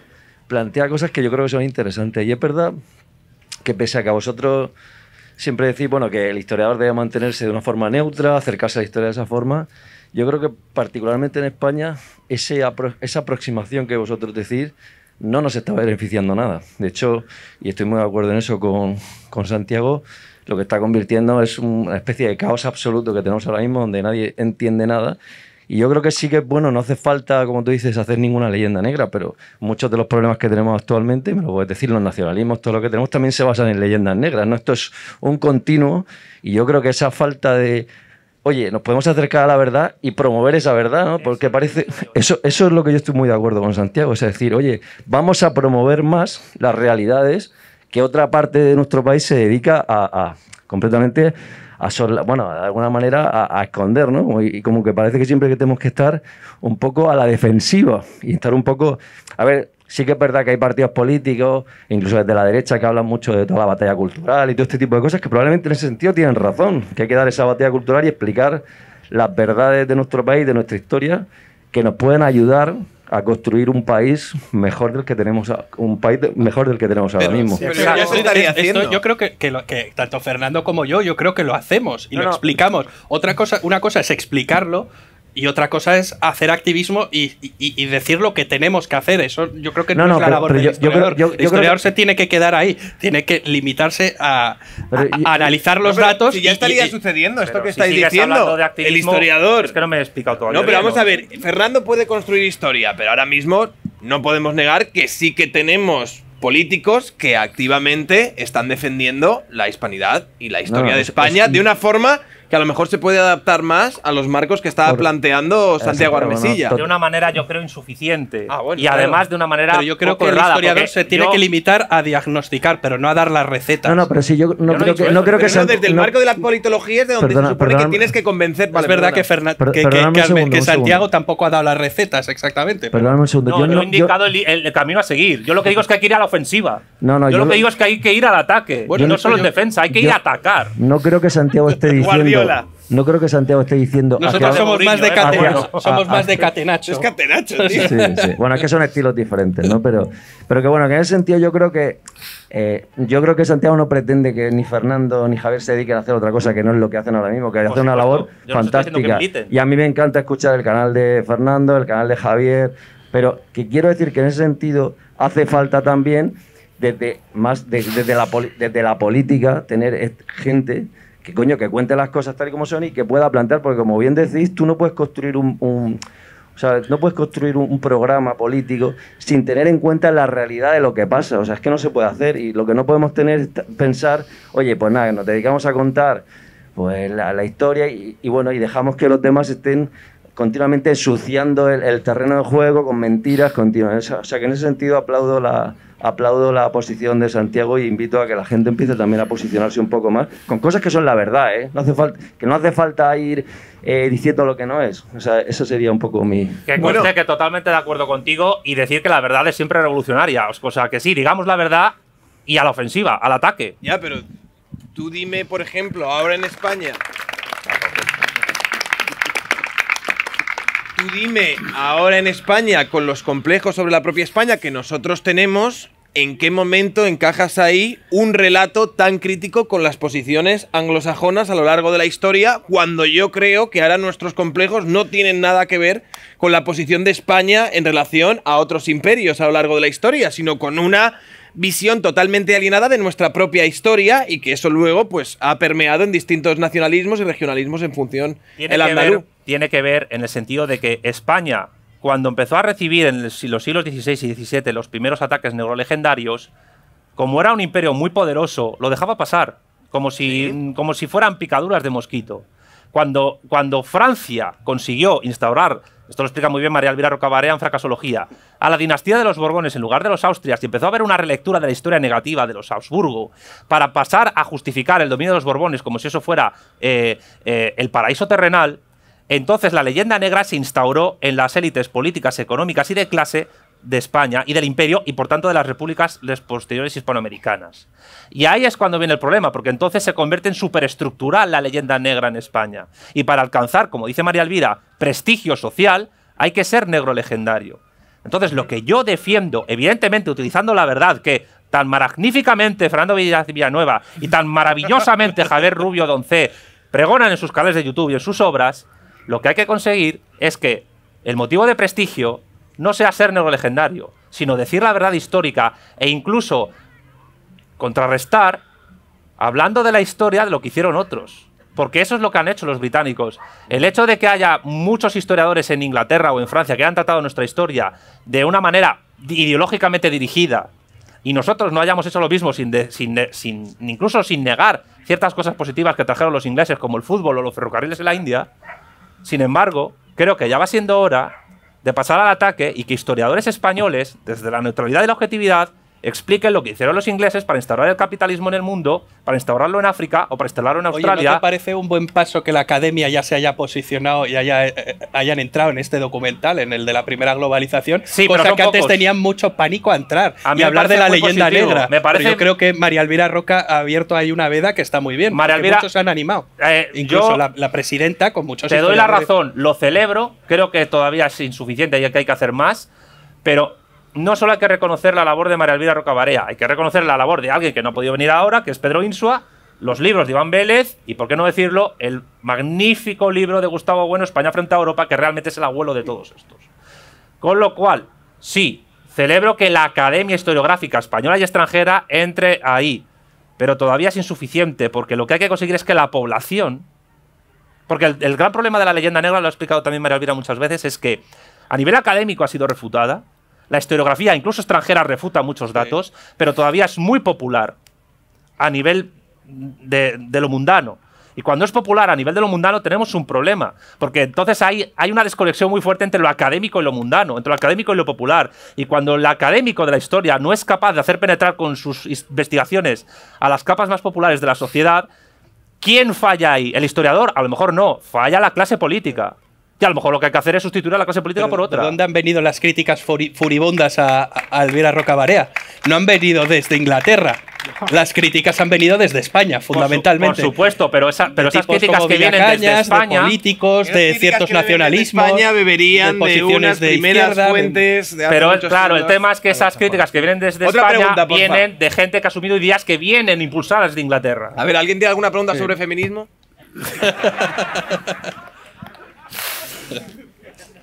Lo siento, si quieres afemir un poco. No, no, no, es broma, es broma, es broma. Bueno, eh, muy interesante. ¿eh? Tengo que decir que era absolutamente escéptico porque a mí hablar de hispanidad de momento me pone los pelos de punta porque también soy heredero de una metahistoria que hemos mamado.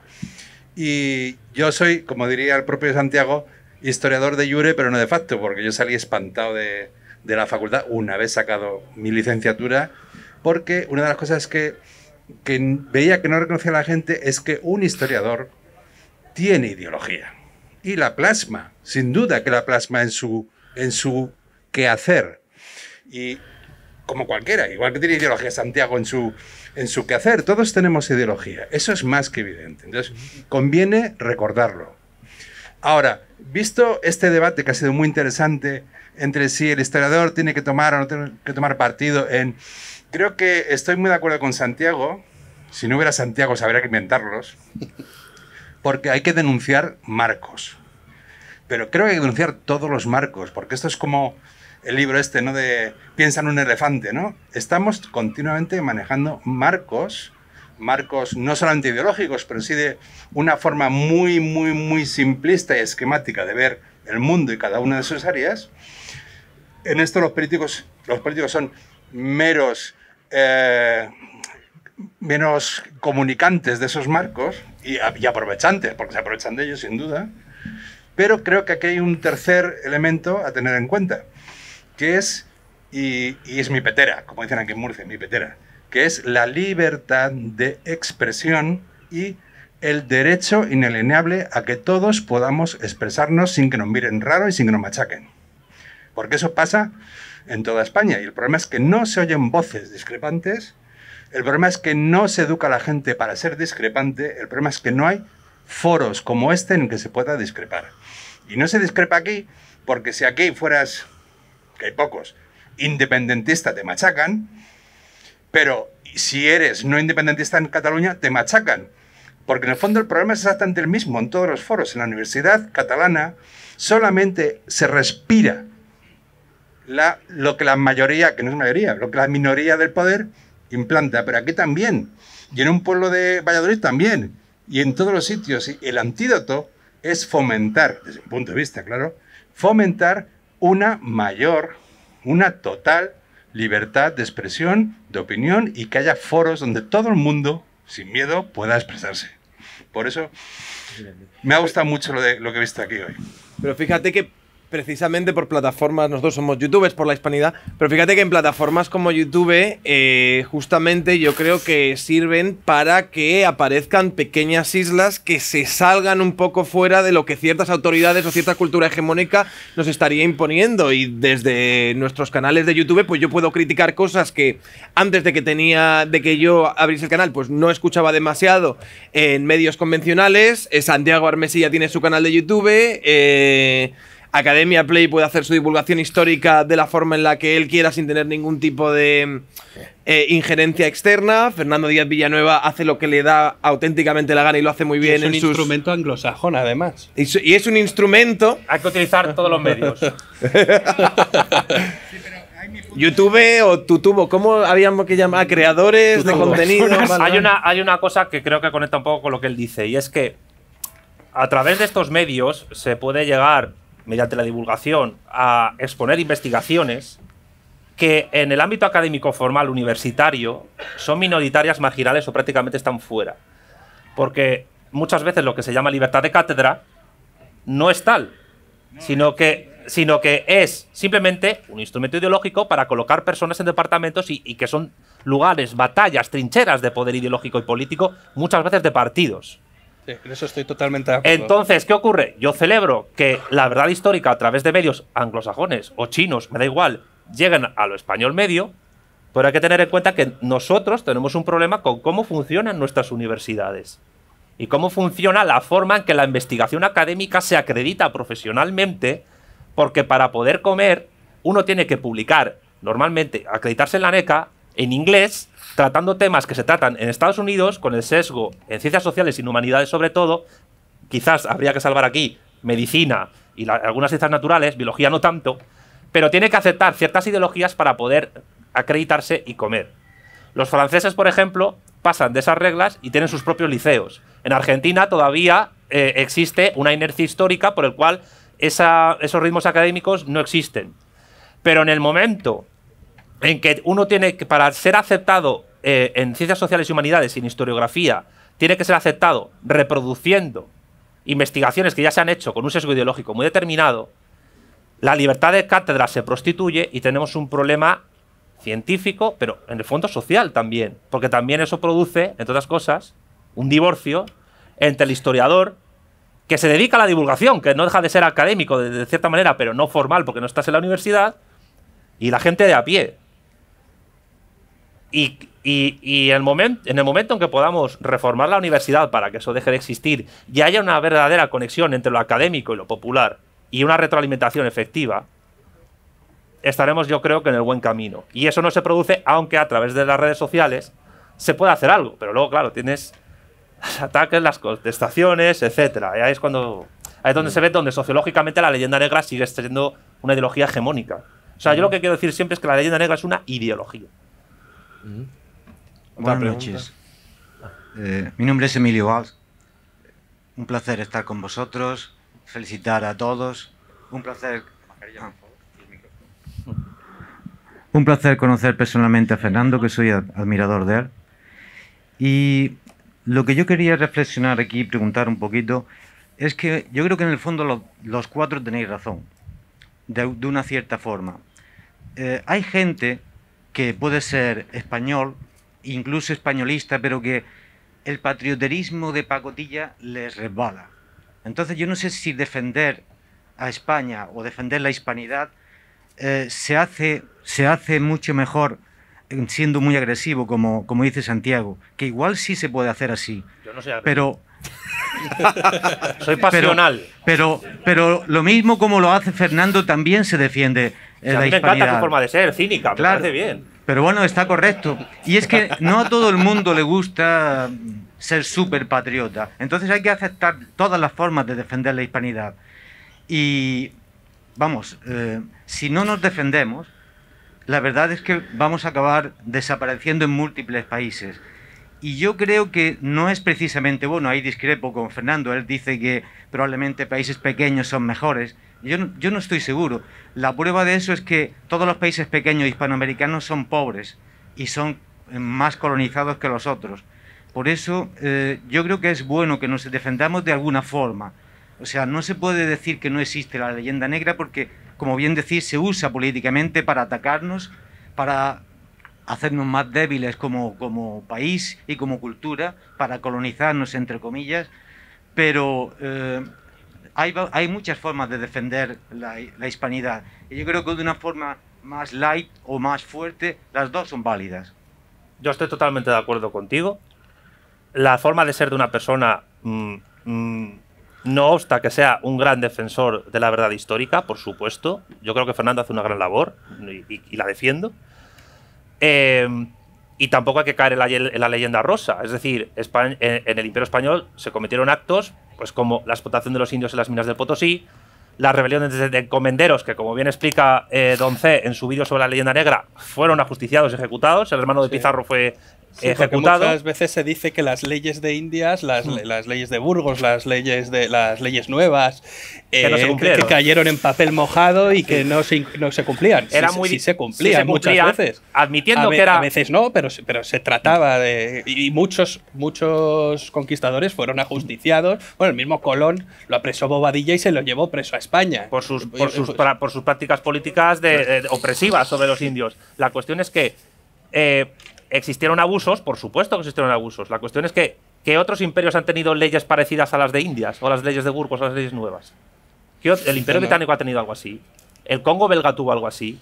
La, la Indonesia neerlandesa tuvo algo así. No. De hecho, Y esas eso- leyes dejaron de estar vigentes con las independencias. Claro. Cuando se desprotegió al indio fue con las independencias. Eso hay que contarlo también, es fundamental. creo que hay que decir estas cosas abiertamente y divulgarlo.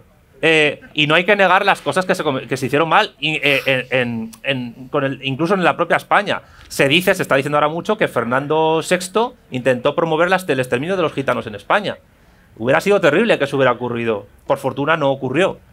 La cuestión. La Pero ¿cuál es la leyenda rosa? La Es- leyenda rosa- La, ro- la leyenda rosa es de leyenda negra igual. No, la leyenda rosa, a mi es, juicio. es inventada por los negros legendarios. Eso es lo que iba a decir yo ahora. La leyenda rosa actualmente no es algo hegemónico ni que existe. Nadie puede. eh, Bueno, también existe Susano- cierto patrioterismo barato que yo creo que a todos nos Pero eso es escama un diferente. poco. A mí- y, y a mí me y escama. y a- y a usted Yo soy un también le, le- parece que, que- que esa no es la manera. Con un- patrioterismo barato yo creo que no se lucha contra la leyenda negra. Exactamente. Porque muchas veces generas una caricatura y queda ridículo y no creo que no que es contraproducente. Yo soy totalmente. al contrario del patrioterismo. No creo que haya que defender que mi nación es superior a las demás ni mejor eh, a las demás. Pero, pero sí la quiero y la defiendo.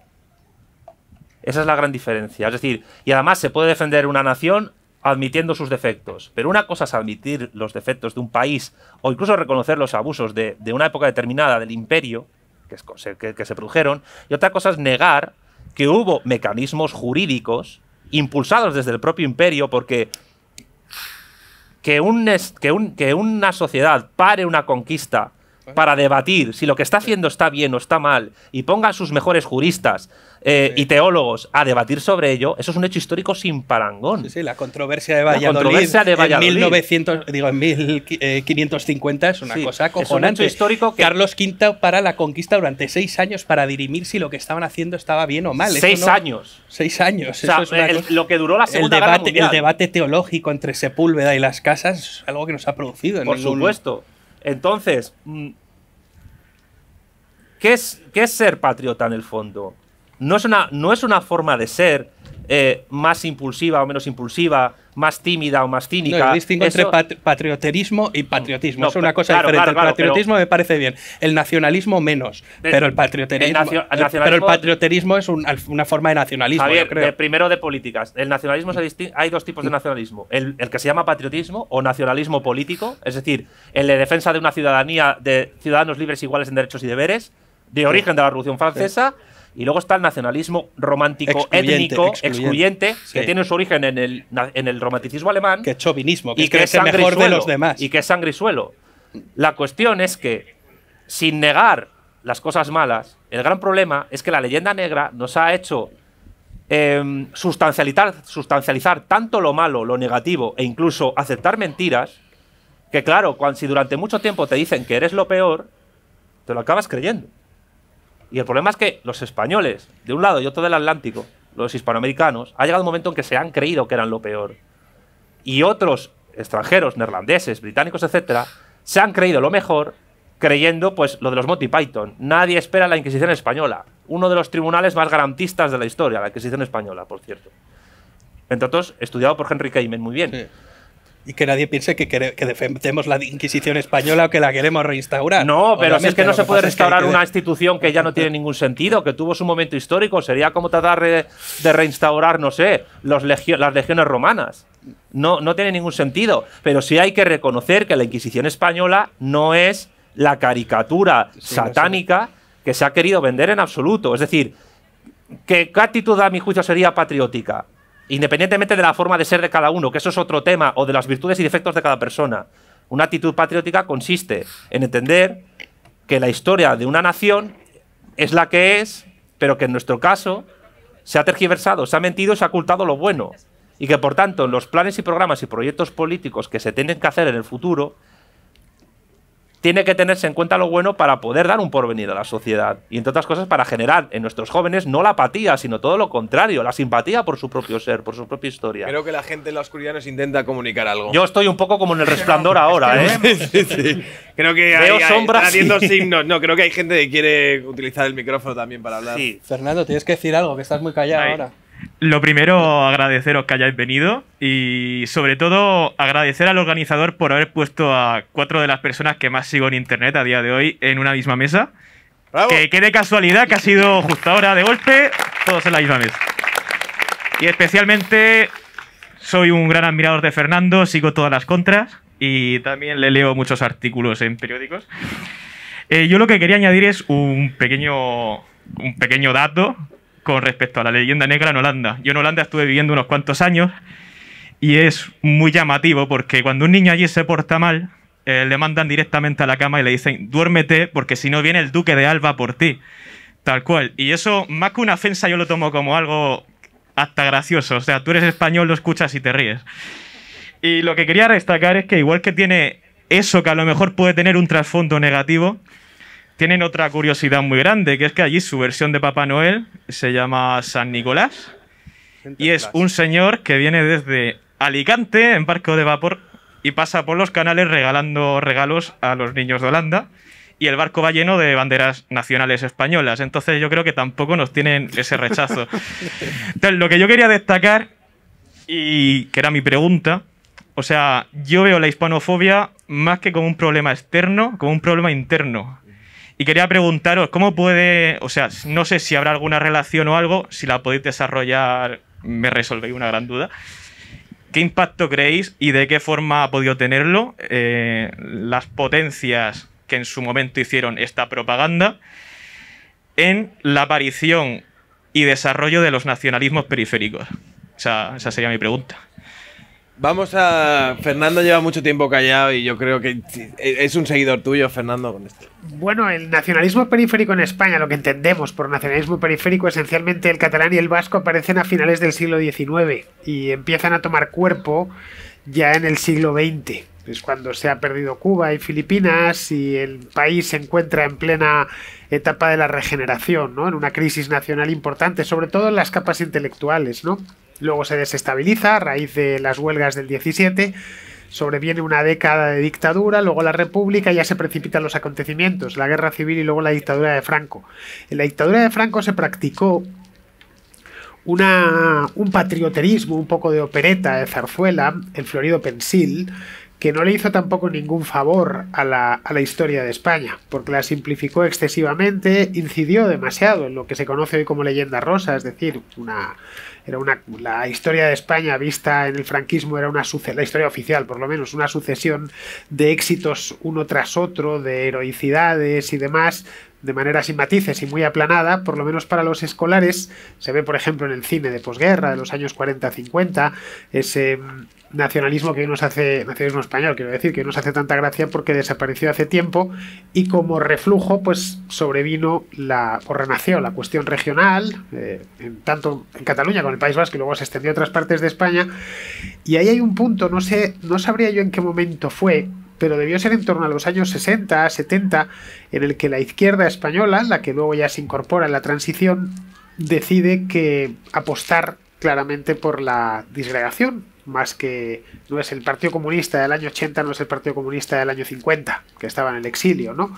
Entonces empieza a utilizar esos eufemismos que hoy son tan habituales como Estado español, este país, eh, los símbolos nacionales se considera que son tomados del franquismo, a pesar de que la bandera es muy, es muy anterior, ¿no? Viene en origen de Carlos III, aunque no fue oficial hasta tiempos de Isabel II, la propia Marcha Real, que era lo mismo, de, de tiempos de Carlos III. Vamos, que se empieza a identificar España como la historia de un fracaso y que por lo tanto pues no tiene mucho sentido seguir manteniéndola. Esta es un poco la idea de la general de la izquierda en España desde hace ya 40 o 50 años. Yo siempre la he vivido, ¿eh? Como no tengo todavía medio siglo, pues no he vivido otra cosa.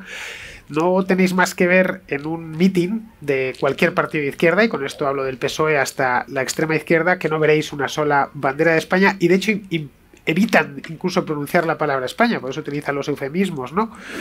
Y mientras que la derecha se apropió de eso, a partir sobre todo de la transición, vio que era invertir un, capital electoral, ¿no? Pues nosotros defenderemos esta idea y la repetiremos una y otra vez.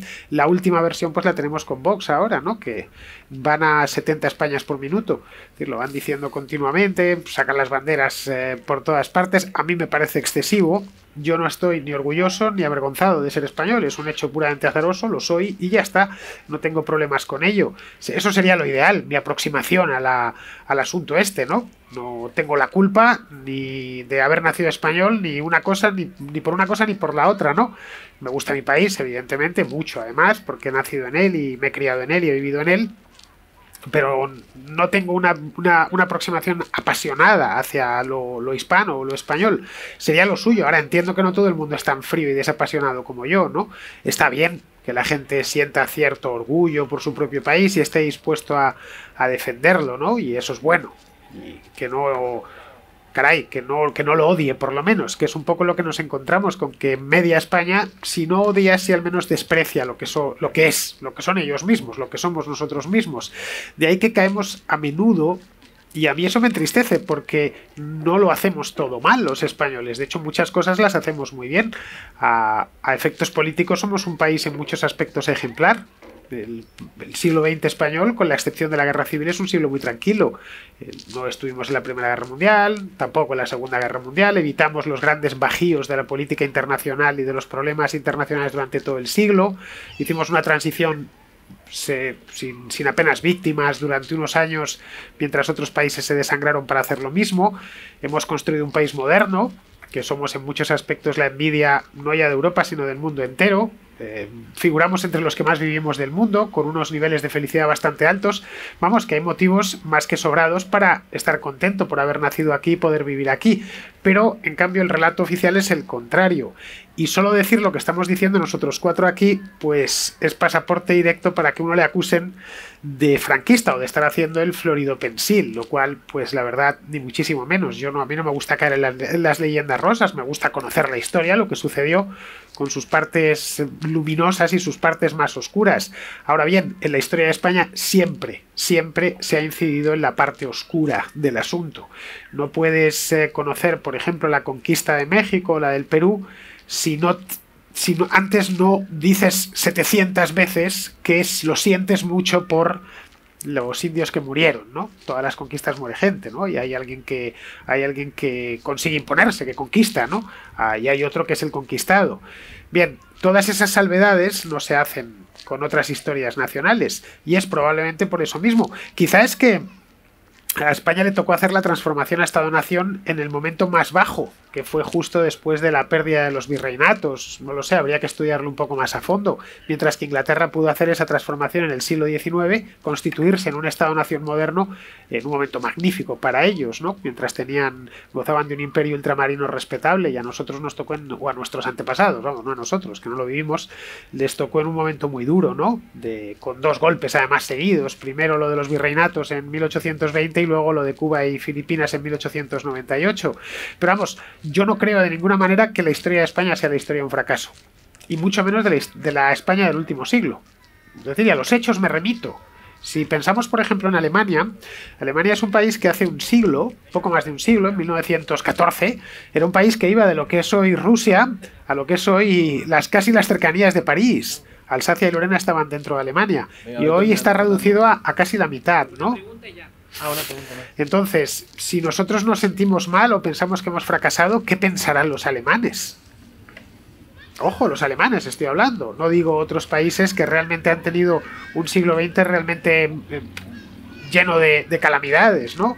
Pero vamos, que la- a, a todo esto hay que aproximarse de una manera razonable y sin, sin apasionamiento. El apasionamiento no es bueno, y mucho menos para, la, para acometer ni la política, ni muchísimo menos la historia. Bueno, vamos con la última Una pregunta, ¿no? pregunta más, por favor. Hola, buenas noches. Eh, bueno, eh, agradeceros a todos vuestra participación. Ha sido una conferencia, digo, un partido interesante. Ha, ha ido la pelota de un sitio al otro. El delantero centro Santiago Ormesilla ha interceptado bastantes balones. Pero bueno, iba a hacer una síntesis pacificadora. Me han dicho que tengo 30 segundos. No me va a costar, no me costaría lo de la síntesis porque sigo a Sergio mm, que es un liberal y yo soy marxista, sigo a Santiago, yo soy un marxista europeísta, él sería feliz si no fuésemos de la Unión Europea. Entonces, eh, Santi, te tengo que hacer dos preguntas. Una pregunta y otra reflexión crítica, muy, muy rápidas. La primera es, imagínate, Santiago, Santi, que tú eres el presidente del ente de Radio Televisión Española, en un gobierno revolucionario, marxista, etcétera, etcétera. Bien. ¿Qué ocurriría con ese debate historiográfico si yo también estoy en contra de la leyenda negra, pero respecto a todo esto decir la verdad es ser honrado, ¿no? Eh, ¿Permitirías que hubiese la misma representación de posicionamientos críticos contra la leyenda negra que también eh, mm, estudios, etcétera, que dijesen puntos de esa leyenda negra que son ciertos. ¿Permitirías la misma proporción que ocurre en la academia?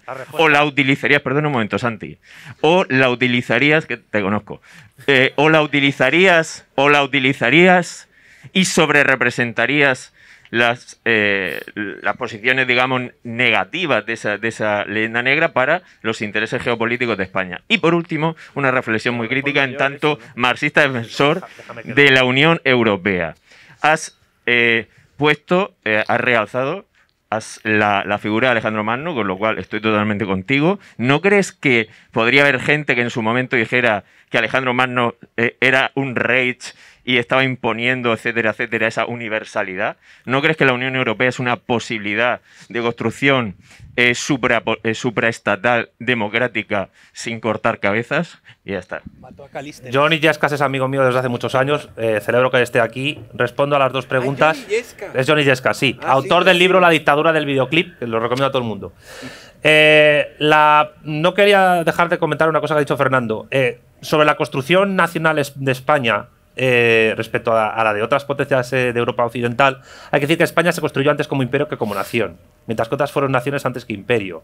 Sobre cómo se construyó España en sus periodos políticos revolucionarios en el siglo XIX, mm, no, modestamente les recomiendo mi libro El marxismo y la cuestión nacional española, donde explico eh, cómo desde la guerra de independencia, el trienio liberal, la primera guerra carlista, la bicalvarada y el sexenio democrático se va construyendo España como nación en el siglo XIX.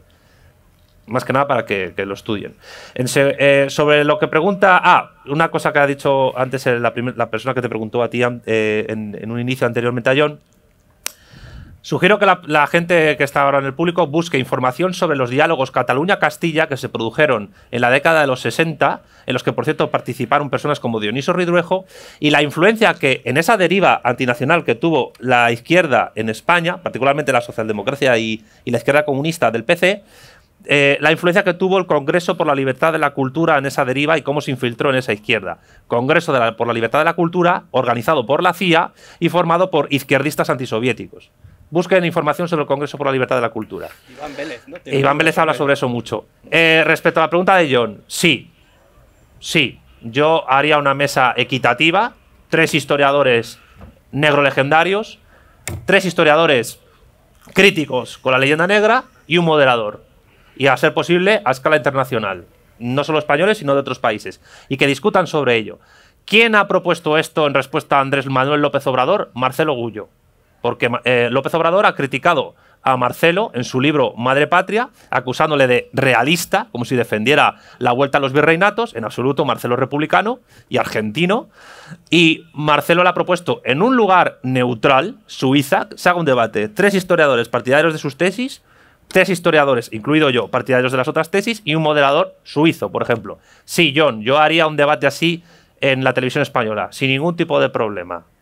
Que la verdad prevalece. La verdad siempre prevalece, es revolucionaria. Eh, y, y sa- y sé qué bando ganaría. Y en segundo lugar, no es comparable el proyecto de la Unión Europea con el proyecto de Alejandro Magno. El proyecto de la Unión Europea es un proyecto regional europeo, no universal, y basado simplemente en el comercio y en un hegemón Alemania que, es una, eh, telúrico evidentemente, que es una aspiradora de recursos naturales, humanos y mercantiles del resto de estados. La prueba más trágica de ello es lo que le ha pasado a Grecia en los últimos años.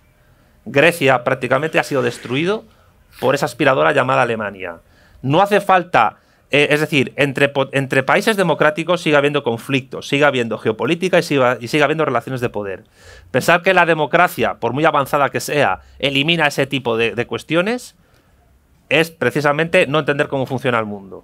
Pero También se ha, se ha destruido por sus propios errores políticos. por no supuesto, por Alemania. Yo, yo no lo niego, yo lo, yo lo niego, pero en el momento en que Alemania construye una Unión Europea a su servicio y pone el euro al nivel del marco alemán para que el resto de, el resto de potencias se ponga ahí, y es verdad que las clases dirigentes griegas falsearon sus cuentas públicas para poder entrar en el club, el problema es que cuando en un momento dado esa Grecia que ha tenido que falsear sus cuentas tiene que depender del turismo para poder vivir holgadamente en Europa y, y- y mientras que Alemania conserva su potencia industrial sobre el resto, cuando hay un referéndum para no pagar la deuda externa en Grecia y gana el no pagarla y Chipras se baja los pantalones ante Alemania y dice que se paga, ahí es donde se ve lo que es la Unión Europea. Que en absoluto es el proyecto de Alej fue no, tiene nada que ver con el proyecto de Alejandro Magno. Alejandro Magno fue un líder militar y un monarca que trató de eh, helenizar el mundo entero. Y por eso esto puede ser un poco cinematográfico por mi parte, pero si alguien ha visto eh, eh, la película Alejandro Magno, de Oliver Stone, perdón, que vea el discurso que hace Alejandro Magno ante sus soldados, diciéndoles, si vosotros me dejáis, yo continuaré avanzando con mis asiáticos.